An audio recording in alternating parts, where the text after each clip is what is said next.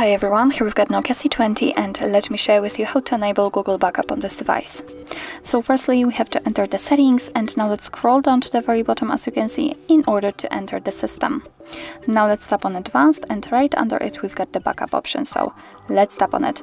As you can see in my case the backup uh, option is turned on. If it will be turned off in your case then you won't be able to tap on account option probably it won't be visible.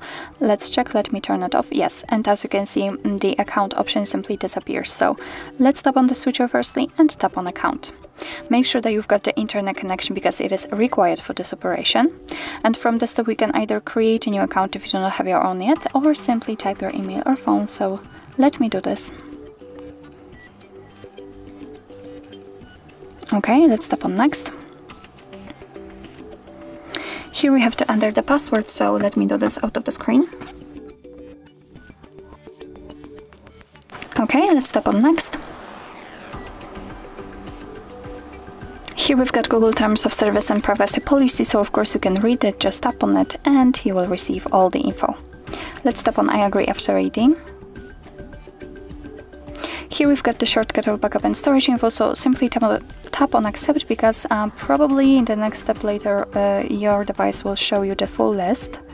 Yes, and as you can see, here we've got listed all of the things which backup includes, so your device will backup apps and apps data, call history, contacts, device settings, and text messages. So let's tap on OK.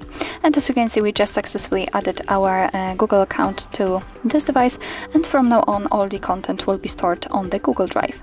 What's more, here you've got also the option um, when to back up so here you can decide if you want to back up your data also using the mobile data and I highly recommend to leave this option uh, like this so uh, only use Wi-Fi uh, because then you can be sure that you won't be charged. So actually this is it, this is how to enable Google Backup in your Nokia C20. Thank you so much for watching, I hope that this video was helpful and if it was, please hit the subscribe button and leave the thumbs up.